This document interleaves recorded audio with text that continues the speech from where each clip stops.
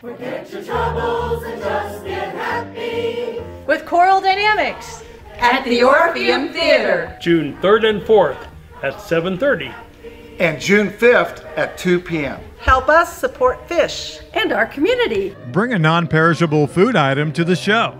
Made possible by grants from the Galesburg Community Foundation and the City of Galesburg. Come on, get happy! Visit GalesburgOrpheum.org for tickets.